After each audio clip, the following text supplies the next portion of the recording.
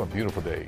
Your weather coming up just a bit. On the Health Watch, though, now a new report says fewer American adults are dying of cancer, but more are dying from heart disease. According to the study, the number of U.S. adult cancer deaths dropped 19% between 1999 and 2017. And while heart disease deaths dropped 22% from 1999 to 2011, the rate went up another 4% by 2017. Experts say the heart disease uptick is likely related to growing obesity rates.